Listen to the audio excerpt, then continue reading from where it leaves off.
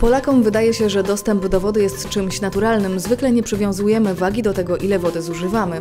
W Azji Centralnej część mieszkańców ma ograniczony dostęp do wody, mimo iż region teoretycznie bogaty jest w zasoby wodne. Najważniejsze naturalne zbiorniki to Morze Kaspijskie oraz jeziora Aralskie, Bałchasz, Issykul, Sares i Zajsan. Do znaczących rzek zaliczamy Syrdarię, Amudarię i Irtysz. Jednym z planowanych działań gospodarki centralnej ZSRR było przekształcenie regionu w zaplecze do produkcji bawełny, nazywanej białym złotem i przynoszącej ogromne zyski.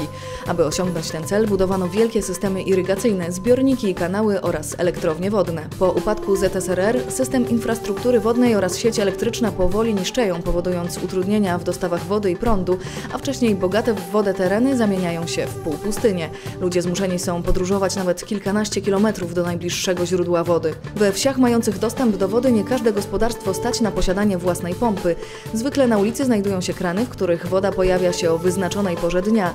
W niektórych miastach woda jest wyłączana na wiele godzin. W blokach często ciśnienie jest zbyt niskie, aby woda doszła do najwyższych pięter, a zardzewiałe rury powodują, że jej jakość jest bardzo niska. Woda magazynowana jest w baniakach, wiadrach, pojemnikach, betonowych lub metalowych zbiornikach oraz w tradycyjnych zbiornikach wodnych tworzonych w ziemi. Bardzo dużym problemem jest brak dostępu do wody pitnej, co powoduje różne choroby układu pokarmowego, jak zapalenie jelit czy dur brzuszny. Częste są konflikty o wodę do nawadniania pól uprawnych. Woda doprowadzana jest z dużych kanałów do małych kanalików, pozwalając na nawodnienie nawet odległych części pola. W sezonie dostarczanie wody na pola kontrolują specjalnie wyznaczone osoby mirabowie. W okresie ZSRR woda do irygacji pól bawełny była dostarczana z Kirgizji i Tadżykistanu na pola uprawne w republikach położonych w dolnym biegu rzek Uzbekistanu, Turkmenii i na południu Kazachstanu. W zamian republiki te dostarczały ropę i gaz, jak również elektryczność.